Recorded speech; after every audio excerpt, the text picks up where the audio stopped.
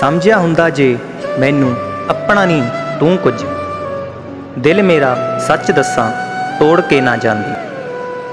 ਹੁੰਦਾ ਜੇ ਮੈਂ ਤੇਰਾ ਕੁਝ ਖਾਸ ਸੋਣੀਏ, ਸੱਚ ਦੱਸਾਂ, ਹੱਥ ਮੈਨੂੰ ਜੋੜ ਕੇ ਨਾ ਜਾਂਦੀ। ਸੁੱਕੇ ਰੁੱਖ ਵਰਗੀ ਬਣ ਗਈ ਹੈ ਜ਼ਿੰਦਗੀ। ਟਾਣੀਆਂ ਵੀ ਤੋੜ ਗਈਆਂ ਨੇ ਨੇਰੀਆਂ।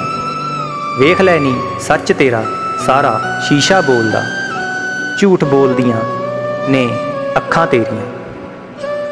ਪਛਤਾਵੇ ਵਾਲੀ ਗੱਲ ਹੁੰਦੀ, ਇਨਸਾਫ ਕਰ ਦਿੰਦੇ।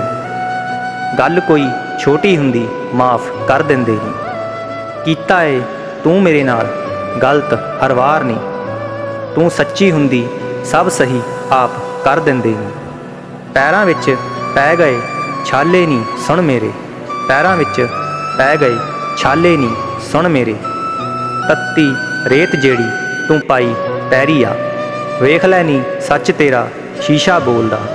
ਝੂਠ ਬੋਲਦੀਆਂ ਨੇ ਅੱਖਾਂ ਤੇਰੀਆਂ। ਝੂਠ ਬੋਲਦੀਆਂ ਨੇ ਅੱਖਾਂ ਤੇਰੀਆਂ।